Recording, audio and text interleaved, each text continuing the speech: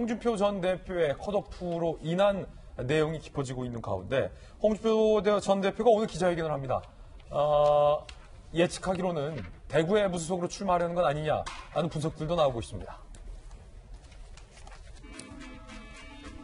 공천 번복 안 되면 대구 수성을의 무소속 출마, 대구 정치 1번지라는 상징성을 갖는 지역이다.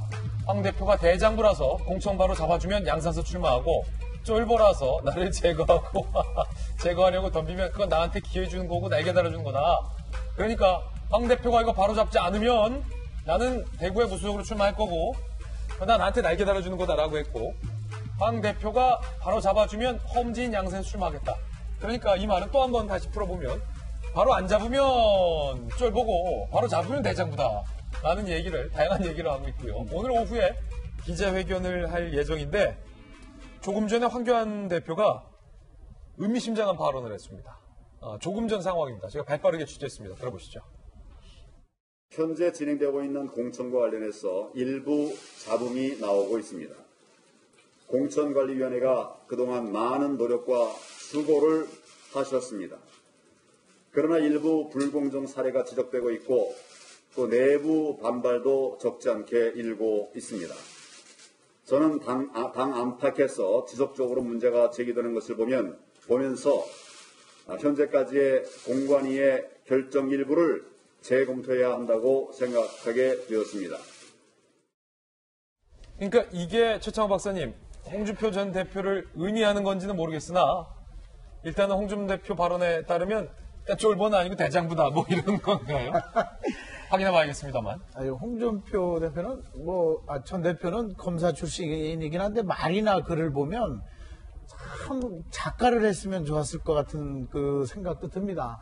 근데 재검토 공천은 100%다 만족시킬 수는 없어요. 왜? 예. 떨어지는 사람도 있고 억울한 사람도 있을 수가 있기 때문에 근데 이제 누구 한 사람을 위해서 재검토가 아니고 전체적으로 지금 황교안 대표의 입김이 전혀 어, 좀안 먹혀 들었다. 라고밖에 해석할 수가 없- 없고 김용호 공천 위원장 같은 경우가 자기 나름의 소신을 갖고 했는데 그 소신이 황교안 대표는 배려하지 않고 아, 저기 안중에 없고 김용호 공간위원장 위주로 다 됐다는 것에 대한 재검토를 이야기한 것 같고 예. 거기에 이제 홍준표 전 대표가 끼어 있을 수가 있죠. 어. 그렇게 되면 이제 뭐 대장부 얘기가 나올 수도 있고 그런 건데 예. 제가 보기에는 전체적으로 공천이라고 하는 것은 누군가에는 서운할 수가 있고 그렇죠. 누군가는 기회를 줄 수 있는 거거든요. 그렇죠. 그래서 그런 것들을 정해놓고 또 자꾸 번복한다는 것은 어, 당의 어떤 그 모순 아니면 당의 그 어, 떤 조직력 아니면 당에서의 그 서로 간의 역할 분담 이런 게 제대로 안 됐다고 밖에 표현할 수가 없는 거예요. 이른바 공천 네. 잡음이다라는 건데 고승덕 변호사님도 당해 주셨으니까 이게 사실은 근데 공관위원장이 공관위에서 결정한 사항을 대표가 좀 재주정이 불가피하다라고 말해서 다시 되돌릴 수는 있는 겁니까? 예컨대 홍 대표를 컷오프했다가 대표의 지시로 다시 부활 이게 가능한 겁니까? 원래는 이제 최고위에서 이제 최종 의결을 하고 당 대표 두 장을 찍어야 공천장에 나가는 이제 그런 그렇군요. 절차가 있는데요. 어, 보통 이제 공천위원회에서 3분의 2 이상으로 다시 의결을 하게 되면 어, 최고위는 이제 그냥 수용하는 걸로 그렇게 당, 통상. 당규는 돼 있거든요. 예. 근데 방금 이제 말씀하신 내용을 보게 되면 처음에는 이제 공관위의 모든 결정을 사실상 맡겼다. 김영호 네. 위원장이 알아서 잘 해달라 이런 취지로 이제 진행이 되었었던 건데 예. 저도 이제 방금 이 그 발언 내용을 듣고 깜짝 놀랐습니다. 조금 전 발언이에요. 저희가 네. 아마 저희 돌직구 쇼에만 지금 동시간대에 소개가 그쵸? 되지 않았나 싶어요. 예, 그래서 어, 옛날에 이제 김무성 대표가 그 공천이 마음에 안 들어가지고 육룡한 나루사 도장 들고 날라가지고 한번 정말 전 국민적인 그런 옥새 들고 나르자. 예, 예. 또뭐 코미디라고 하기는 너무 제가 과한 표현이고 국민들이 좀 뭐가 좀 희한하다 이런 그 인상을 그 받았었는데 이번에 어떻게 이 절차적으로 풀 것인가 저는 이제 관심을 가지고 볼 거고요. 예. 어, 다만 이제 홍준표 대표 발언과 지금 이제 황교안 대표 발언을 같이 맞물려 놓으니까 음. 마치 그 황 대표가 그 홍준표 대표 건도 여기에 포함돼서 다시 할 것처럼 생각할 사람이 조금 있겠지만 예. 제가 볼 때는 그거보다는 그 지금 이제 김종인 대표 영입을 할 때 모 언론에서 보도한 것처럼 그 김영호 위원장이 개인적으로 심어놓은 몇 사람이 있는 것 같다. 아무래도 이 사람은 그 깜이 아닌데 이 부분을 바꿔야지 들어오겠다고 약간 이제 깔아놓은 그 그 보도가 있거든요. 저는 오히려 그것과 연결이 돼서 예. 그 분석하는 게 맞다고 봅니다. 그래서 어, 일부 공천을 바로 잡겠지만 어, 그 발언이 홍준표 대표까지 포함한 거라고 보기는 예. 좀 너무 빠른 분석이라고 생각합니다. 아니 그런데 지금 네. 또 조금 전에 홍준표 전 대표가 황, 전- 황 대표의 이 발언을 듣고서 음. SNS에 입장을 밝혔습니다. 오늘 뭐 거의 라이브로 저희가 취재해서 네. 생생하게 전해드리니까 오늘 준비한 건 뭐 지금 이거 지금 준비한 게 사- 뉴스가 아니에요. 구스가 됐어요. 네. 홍준표 전 대표가 이렇게 얘기했어요. 오늘 최고위에서 황 대표가 일부 공천 문제의 잘못을 시정해야 한다는 것을 발언했다. 황 대표가 어, 김영호의 막천을 이번 주말까지 바로 잡으려면 김영호를 파면하라. 그러니까 더 나아가서 네. 지금 홍 전 대표가 공천을 조정하라라고 요구했잖아요. 황 대표가 사실상 공천 재조정해라라고 발언하니까 조금 전에 홍 전 대표가 그럼 김영호를 파면하라. 라고까지 한 발 더 떠서 요구하면서 이렇게 했어요. 그런데 황 대표가 김용호 공관위원장을 파면할 가능성은 제로기 때문에 나는 머뭇거릴 시간이 없어 내 길로 간다. 이게 뭡니까? 결국은 자기는 그냥 뭐 정해진 대로 할 거다. 이거 아닙니까? 결국에는 저는 저기 뭐야 한관 대표가 지금 저 말씀은 잘못했다고 봅니다. 예.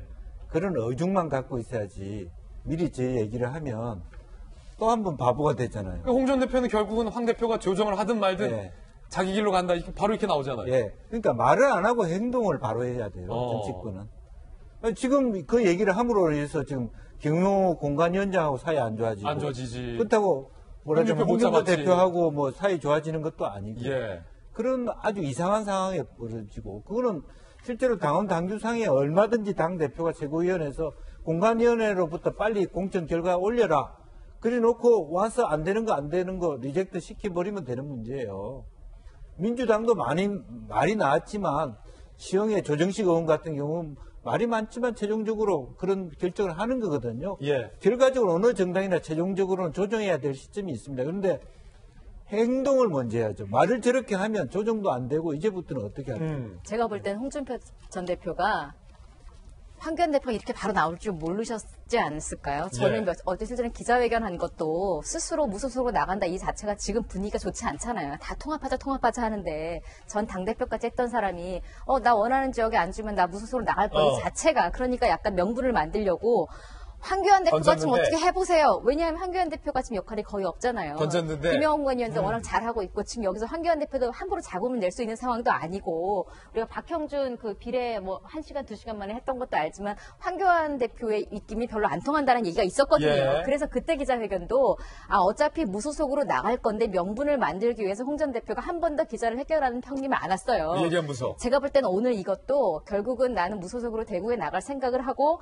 황 대표 쫄보 아니면 이 렇게 뭐 대장부면 이렇게라고 했는데 황 대표가 즉각 반응을 하니까 저는 홍 받을 전줄 몰랐던 대표가. 얼른 하지만 시간이 없으니까 나는 내 길대로 간다라고 저는 말씀을 네. 아 죄송합니다 네. 웃을 일은 아닌데 지금 홍준표 전 대표가 너무 즉각적인 반응을 냈고 예. 지금 김진 앵커가 말한 대로 앞에 쭉 봐서는 어 홍준표 전 대표 의도대로 황교안 대표가 파답을 한 건가라고 생각을 했는데 뒤에 가서는 난 내 길로 간다라는 답은 정해져 있어요. 여기도 답은 사실은 정해져 있어요. 본인의 시나리오를 쭉 가고 있었는데 갑자기 황교안 대표가 딱 끼어들면서 네. 어 당황하셨나 저는 살짝 그런 의도도 좀 저는 읽힙니다. 지금 이렇게 저는 되면 이제 황 대표 입장이 생- 사실 무한해졌잖아요. 황 대표 네. 측에서는 이렇게 나올 가능성이 큽니다.